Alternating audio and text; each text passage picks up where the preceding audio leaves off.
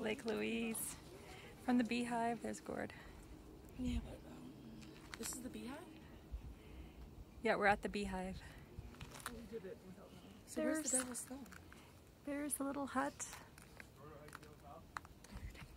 Yeah, it's okay. And then gorgeous mountain views.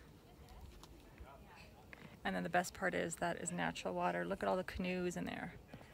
All those canoes.